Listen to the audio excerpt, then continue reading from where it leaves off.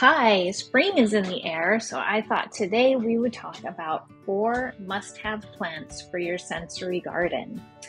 Um, plants that are tasty is our first category because edible plants work great in a garden and they're especially appropriate for kids who tend to explore orally. So if your kid loves to put things in their mouth, don't fight it. Plant stuff that they can pick and put right in their mouth. So herbs are great. We love basil and rosemary. You can get mint in multiple flavors. Chocolate mint is our favorite. There's pineapple sage, which is delicious. Lavender, echinacea, chamomile are all great.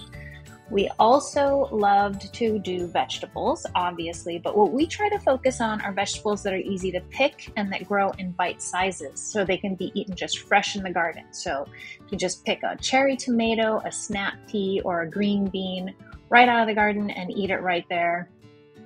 Our second category are going to be plants that attract birds or insects.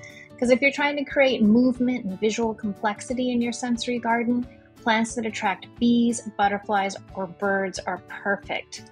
Bees love bright colors like yellow, blue, or purple. They're known to love hostas, echinacea, and chives. And butterflies love phlox, echinacea, lavender, and milkweed.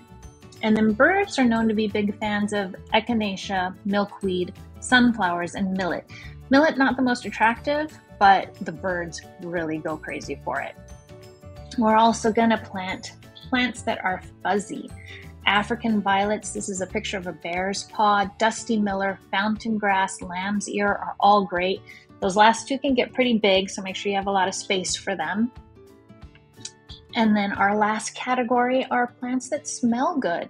So, scented leaved geraniums are just our absolute favorite for smells in our sensory garden. They come in so many flavors. You can get apple, chocolate, orange, rose. You just pick the leaf, roll it in your fingers, and it makes the most amazing smell. And then also, like I said before, mints are great. They come in so many different flavors too. You can get mint, mojito, chocolate mint, peppermint. I've even found orange mint and strawberry cream mint. Those are some of our favorites. So if you have any other ideas, please drop them in the comments below and have fun planting.